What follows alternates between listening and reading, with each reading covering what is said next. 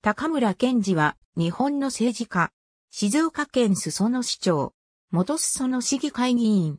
静岡県裾野町出身。裾野市立東小学校、裾野市立東中学校卒業。1983年3月、静岡県立沼津東高等学校卒業。1987年3月、名古屋大学法学部法律学科卒業。豊田通称、スーパーマーケット勤務を経て旅行業に就く。2006年1月22日に行われた、裾野市議会議員補欠選挙で初当選。同年10月に再選。2009年12月に市議を辞職。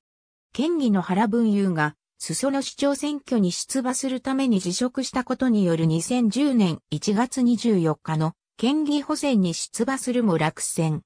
2014年1月26日に行われた、裾野市長選挙に自由民主党の推薦と現職の大橋俊二の支援を受けて出馬。元市議の岩田博之と元防衛庁職員の土屋隆二を破り、初当選した。1月29日、市長就任。選挙の結果は以下の通り。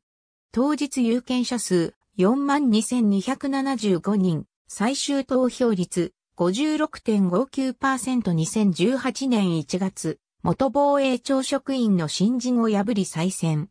ありがとうございます。